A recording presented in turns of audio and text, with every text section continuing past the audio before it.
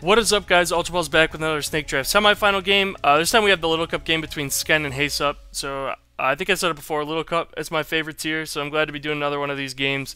Uh, we'll look quickly into the teams, but we're not going to spend too much time on it. We'll just hop into the replay, because both both teams are like relatively similar, to be honest. Even though they only have like share one mon in common, like they're the same sort of archetype. It's more of like a balanced type team, uh, where most of the mons carry a lot of defensive utility. Uh, I guess the one exception to that on Sken's side would be like Gastly, and for Heysup it'd be Salandit, which is interesting because you don't see Salandit too often, uh, but it is like a fairly decent mon. And uh, it's interesting because Sken doesn't have really good answers to that, so it looks like a good bring.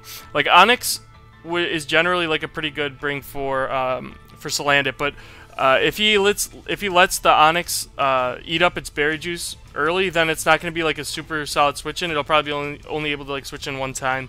So that's something to keep in mind when we look at the lead, because we see the Onix versus Foongus lead here. So if Onix opts to get up the rocks turn one, uh, and it gets Giga Drain down to its sturdy, then it loses its berry juice, and then like I said, uh, becomes a lot weaker to the Salandit. So. I guess with that, we'll just hop right in. Uh, Dokk did say that uh, he missed the first few turns of these, so he just like went like he replayed the beginning, or he, like he went to replay uh, the first few turns of this. So they're gonna the first few turns are gonna fly by pretty fast until we catch up with the players. So uh, yeah, bear with me because I'm gonna be going at hyper speed. Uh, yeah, but okay, so we see this lead. I already talked about a little bit. Uh, we see the rocks by Onix and yeah, the Giga Drain. So the uh, the Onix does waste its Berry Juice turn one, which, like I said, is to make uh, Salandit a lot bigger problem. Uh, we see HP Fire is a really good play by Haste. He's going to be able to 2 KO this Ferroseed, and uh, does be, is able to get up a spike before it dies, though. Um, and now we're going to see, okay, Gastly subs. So if he goes for Spore, no, he does Giga Drain, and that does break the sub. So that's a really good play by Heysup there. Uh, and now, is he going to go for Spore here? Yeah, really nice set of plays uh, there by Heysup, uh, not letting the free sub on the Gastly. Uh, and now, like, since the Gastly's asleep, like, Staryu could probably spin here, but it's probably going to come, like, it's going to have to eat a high jump kick. Uh, so that's, yeah, yeah. And, and like, no, Staryu can't OHKO this. That's not going to do that. Yeah, see, that doesn't kill. Now he just lose loses Staryu. But those hazards were really problematic for Heysup, so good job by him for getting those things off. We see this Salandit come out here, and like I said, okay, so this is going to take a good chunk. Yeah, see, it took 42, and now it can't switch in anymore. So that was like the only answer to Salandit, and now it's not a switch in.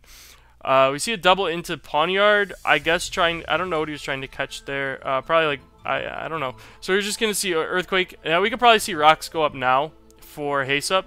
Uh, since I don't think this, did this thing, yeah, this thing burned one turn of sleep, but I'd probably just get rocks up here if I was Up. As we see, it stays asleep again. And now, we're probably going to see Up switch out into... Vullaby? Salandit. Okay, hard Salandit. Uh, interesting play there, because Shadow Ball, if it stayed asleep, would have done... Would probably, like, killed it. Killed this thing? Uh, I don't know the rolls for sure on Salandit, but, I mean, this thing ain't very uh, bulky. So, we do see it pick off the Gastly, and... Okay, he goes Spritzee, so I think the Salandit must be Scarf. Uh, even though Gastly and Salandit, I'm pretty sure hit the same speed.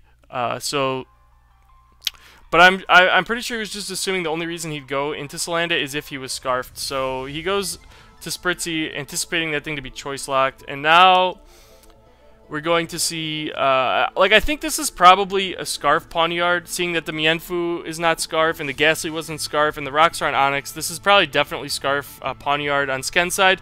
So he's able to knock off the Timburr's Eviolite. Uh, so Timburr goes for Mach Punch there. Uh, I understand not wanting to go to Spritzee right away because you don't want him to knock off the Spritzee's Eviolite because that really hurts its ability to check this Timburr later on in the game. So it's a good play by Sken uh, pivoting to the Mienfoo first in case you wanted to go for knockoff.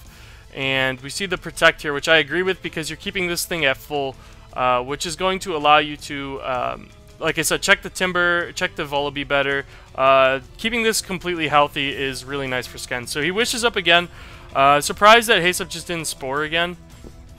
I think he's trying to catch the the Mienfoo coming in maybe. But now, yeah, so now Mienfoo does come in, and gets uh he's gonna get wish back up to full especially after yeah so with after regen he's gonna be at full and he could probably he could either just knock or u-turn and we could see a spore come out here by Heysup yes we do see the spore come out but the um the Mienfoo is able to knock off the Foongus which is really nice and now um things pretty much back at full so it could burn a turn of sleep here and I assume that you were gonna go either you could you could stay in and burn another turn if you really wanted to yep Could we see a knock? Alright, so it was Eviolite. Yeah, it's Eviolite, um, Mienfoo.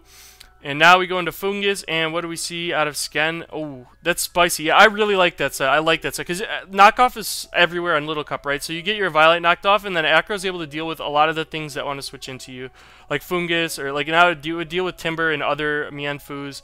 Uh, so this looks this looks like a really hard set for Heysup to deal with right now. Uh, nothing really wants to switch into this uh, Mienfoo anymore. And I definitely think he's free to click. He could honestly click uh, he could probably just click Acro again. I don't know if Heysup would want to switch. And what does he switch into really freely? Nothing. But he can't really go Onix because then the Sturdy's broken and he dies to high jump kick.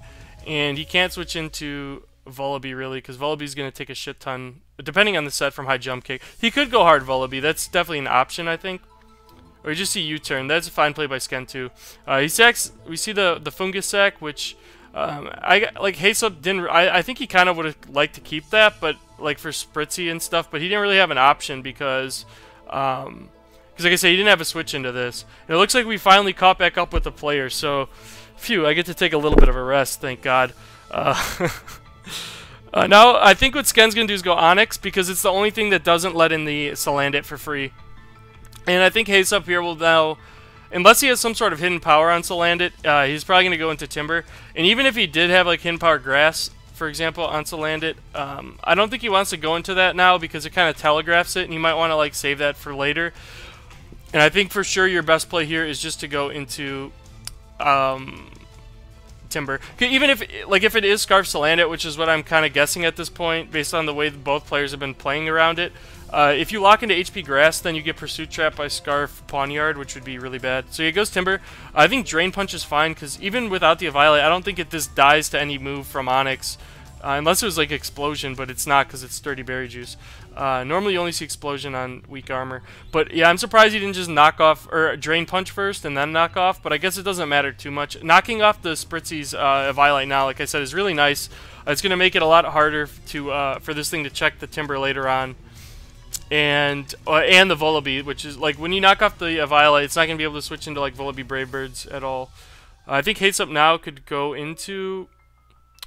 I guess you could go hard Salandit, um, because like Spritzee can't really touch that thing, since it's four times. Uh, since it resists Moonblast four times, he just drain punches though.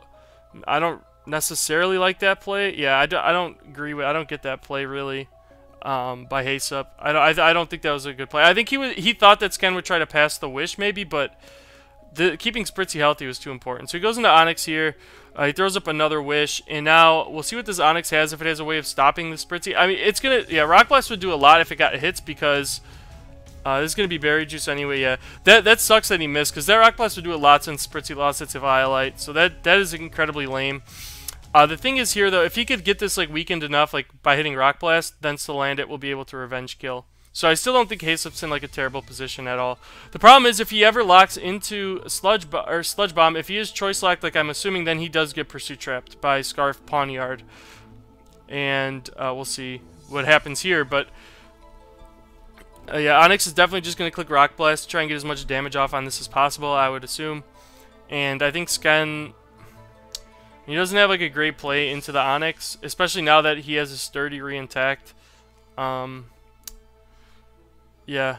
I'm not exactly sure what Sken's best play would be here. I guess it would be like what go okay, go Pawniard on Rock Blast, yeah. Uh, he just earthquakes. Yeah, oh that was a great play by Heysup. But to be honest, like that does more damage than Rock Blast anyway, like most of the time, I guess, depending on hits.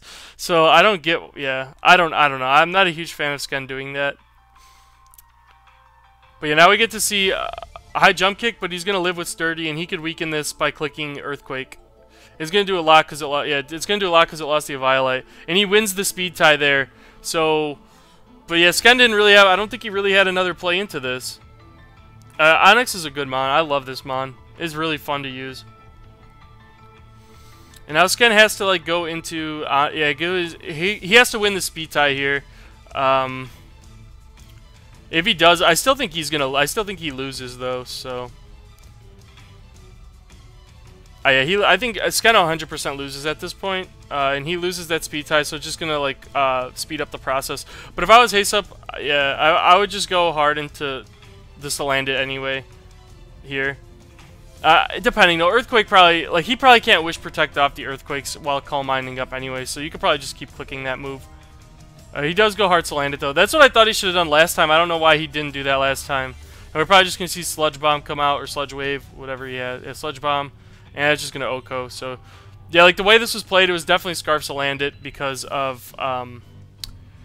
Because he switched out on the Spritzee last time. Well, like I said, Salandit's not the most seen mon. Uh, Scarf might be more getting more popular now. It's not something that I've really seen, though. Normally, like, the Salandits that were more popular early in the gen were, like, Nasty Plot Poison Z, and, uh, but yeah, I guess Salandit did put in a lot of work. Like I said from preview though, Sken didn't have great, um, Sken didn't have great answers to this, especially after he let the Onix get brought down to its sturdy turn one and eat its berry juice, which I, I'm not like the biggest fan of that play. Um, but he did, yeah, I don't know. He didn't have like great switch-ins to Foongus anyway because it was HP Fire, so yeah, I don't know though. But it was a good game. Uh, good game by Heysup. Congratulations on the win. Uh, if you guys enjoyed this video, like, comment, subscribe, and until next time, Ultra Balls out. Peace.